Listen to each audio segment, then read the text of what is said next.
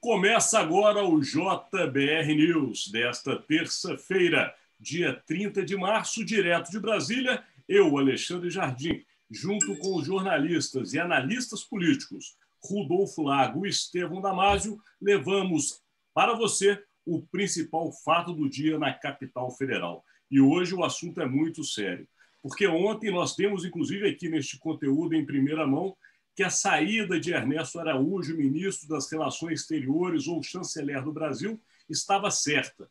E ao final do dia foi confirmada essa notícia e junto com a saída de Ernesto Araújo, veio uma série de outras trocas no governo. O presidente da República, Jair Bolsonaro, aproveitou o momento e acomodou algumas pessoas relacionadas ao Centrão, que é o seu braço de apoio no Congresso Nacional. Porém, uma das pastas que foi mexida que é justamente o Ministério da Defesa, gerou uma crise sem precedentes na história do Brasil desde o final dos anos 70. Porque agora há pouco, lembrando a vocês que nós gravamos esse conteúdo sempre na hora do almoço, agora são exatamente 12 horas e 47 minutos, e neste momento foi confirmada a saída em conjunto dos três comandantes das Forças Armadas, Marinha, Exército e Aeronáutica, numa reunião muito tensa com o novo ministro da Defesa, Braga Neto, na qual, segundo os presentes relataram, houve trocas de agressões, não físicas, mas verbais, inclusive beirando a insubordinação,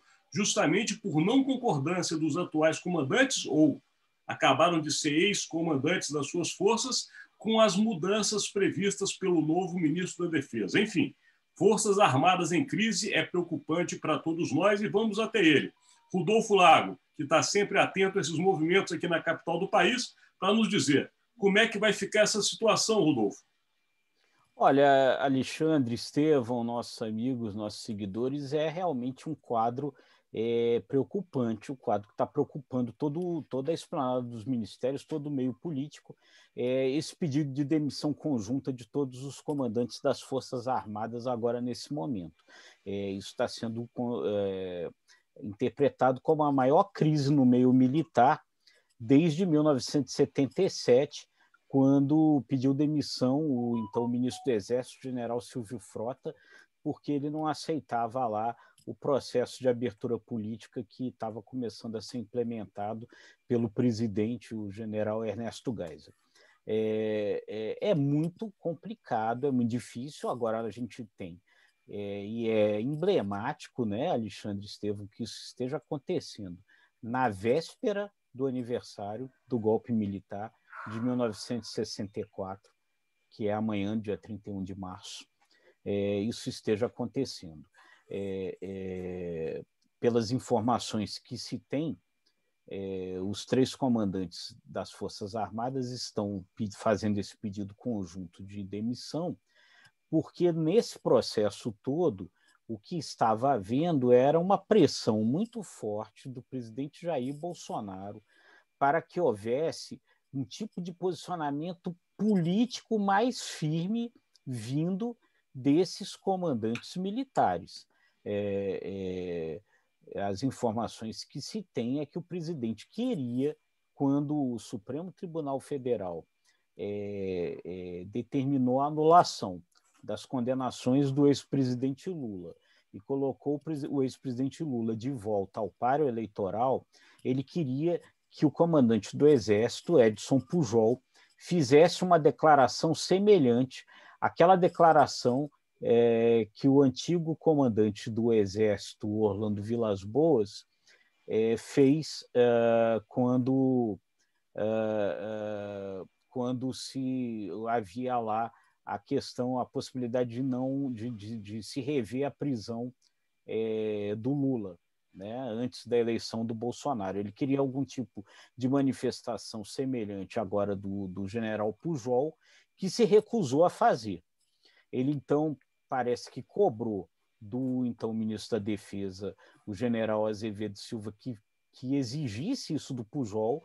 O general Azevedo Silva disse que não poderia fazer isso, e aí então, é, na sequência ontem da demissão do ministro das Relações Ernesto Araújo, das outras mudanças que aconteceram, o presidente retirou é, o, o, ministro da Defesa trocou ele pelo general Braga Neto, é, e aí né, hoje a gente tem aí como consequência disso esse pedido de demissão de todos os comandantes militares. Então, é, por causa, me, pelo, pelas informações que se tem, dessas pressões no sentido de que as Forças Armadas saiam de uma posição mais institucional para uma posição mais política, o que parece esses comandantes resistem. É, lembrando aqui ao nosso seguidor o nome dos comandantes demissionários. Tá? O comandante da Marinha, que acaba de sair junto com as demais forças, é o almirante Ilques Barbosa. Já no caso do comandante é, do Exército, que é justamente o Pujol, tem também junto com ele o comandante da Aeronáutica, que é o Moretti Bermudes. Portanto, são os três comandantes que acabam de deixar o governo federal. Lembrando que ontem, na saída do ministro, que era o ex-ministro da Defesa também, que, obviamente, relatado aqui por Rodolfo Lago, mostrou qual era o seu posicionamento, ele também saiu deixando claro, por escrito, esse posicionamento, né, Estevão Damasio? Porque ele resolveu escrever na sua carta de demissão justamente que ele manteve, durante o período como ministro, o papel constitucional das Forças Armadas. Isso chamou muito a atenção. Por quê? Claro, é uma obrigação natural de um ministro. Por que ressaltar este ponto na sua carta de saída? E justamente hoje, no dia seguinte, uma crise se instala no meio militar. Estevão, o que está acontecendo? Você tem mais informações para dar ao nosso seguidor? Estevão. Estevão Damasio está sem áudio. Não, não é ah, bom, porque é, o, quando você põe no mudo, você tem que tirar do mudo. então, desculpem, seguidores, eu estava tão concentrado aqui no Rodolfo e no Jardim que eu deixei meu telefone mudo, mas vamos lá. É, o presidente Jair Bolsonaro ele cruzou os limites da razoabilidade e do bom senso ao, apesar dos alertas que ele recebeu, ter colocado o Pazuello, general da ativa, em um cargo do Poder Executivo. Né? Isso já tinha desagradado e vinha desagradando o meio militar, porque aí você atrai para o centro do furacão, e qualquer governo é um furacão, né? nenhum governo passa margem de crises, crises são normais, são naturais, você traz uma fundação, uma instituição, melhor dizendo, respeitada em nível nacional como o Exército. E é uma instituição de Estado. E aí o Bolsonaro, a fórceps, no estilo dele, puxa o Exército para dentro do governo. Ali já começaram as relações a ficarem desgastadas.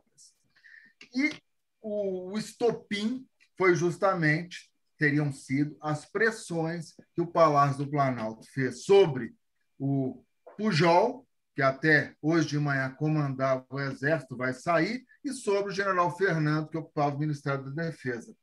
Ambos não cederam a essas pressões, porque ambos sabem da responsabilidade de zelar pelo texto constitucional. Presidentes, gente, passam, governos passam. Exército, Marinha, Aeronáutica e Ministério da Defesa ficam. Eles fazem parte do equilíbrio constitucional e de segurança do próprio país. Então, é, o presidente Jair está numa enrascada, mas numa enrascada muito grande. Por quê? O, o Braga Neto, né, que já demonstrou certa habilidade ao comandar, vocês se lembram, né, as forças de segurança nacionais contra a violência no Rio. Ele teve essa passagem meio traumática. Ele teve acertos, mas houve erros também. Aquela família metralhada lá no Rio foi, uma, foi, uma, foi um absurdo. É, o que comprova que o Exército não pode fazer policiamento de rua. Né? Isso vem de algum tempo desgastando a imagem do próprio Exército. E a partir daí, o Braga Neto vai ter que convidar novos comandantes. Os que estão deixando os cargos, até onde eu saiba, desfrutam de simpatia e credibilidade perante as tropas e perante o oficialato. Quem vai aceitar o convite para assumir essas três forças, agora sob a tutela do Braga Neto, que é bolsonarista, ele é bolsonarista, já provou isso, tendo que aceitar a pressão de politizar as Forças Armadas, como quer, ao que parece, o presidente da República. Eu acho que ele vai ter muita dificuldade. Porque quem assumir, já vai assumir com, essa, com esse rótulo de tendendo às ideias do presidente da República. O presidente estragou toda a relação entre as Forças Armadas e o governo federal. E o Congresso Nacional, no momento em que Bolsonaro tenta resgatar ou criar laços fortes, colocando uma deputada inexperiente, sim, na, na Secretaria-Geral da Presidência, mas que tem habilidade, ou certa habilidade, senão ela não estaria lá no Congresso. Ela demonstra mais sensibilidade do que o, o ex-ocupante do cargo de secretário-geral da presidência, que é também general. Né? Então, é, no momento em que Bolsonaro deputada busca Flávia essa estabilidade, é, deputada Flávia Arruda, no momento em que ele busca essa estabilidade entre executivo e legislativo, o legislativo agora está muito mais preocupado não com a pauta que Bolsonaro quer aprovar, mas com o papel das Forças Armadas. Gente, isso virou manchete e eu vislumbro que vai virar o centro das discussões por muitos dias. Viu? É um abacaxi que o Braga Neto e o presidente da República têm para descascar. Quem vai querer assumir Marinha, Exército e Aeronáutica sem ceder às pressões políticas vindas do Palácio do Planalto? É um abacaxi. É, é, e tem uma questão que aqui de bastidores, João, ontem à noite, a nossa colega e trabalhamos constantemente com ela durante um bom período da nossa vida, que é Eliane Cantanhede, uma colunista de política respeitada na capital federal. Ela traz o bastidor de ontem à noite. Ela diz aqui que ontem o Pujol, após sair do ministério, chamou justamente os dois comandantes, que são justamente esses que hoje pediram demissão junto, fizeram uma reunião com Azevedo e Silva em protesto, porque justamente temiam que podia haver uma força para poder romper parte da Constituição brasileira.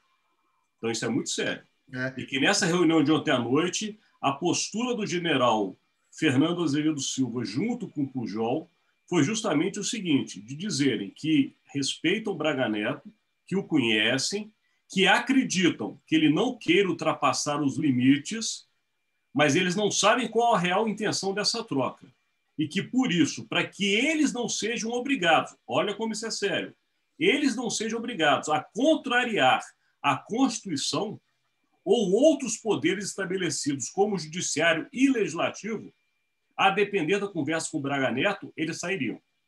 Pois olha é. só, a depender da conversa com o Braga Neto, eles sairiam. Veja bem essa questão.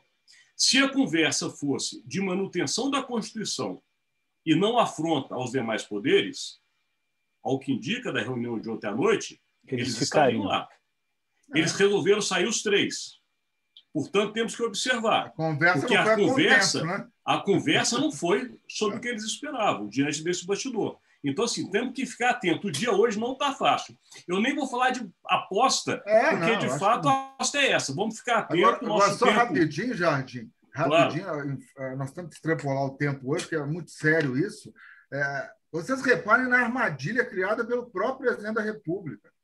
Os comandantes que saem, saem sob as vestes da hombridade, da ética, da lisura e do respeito à Constituição.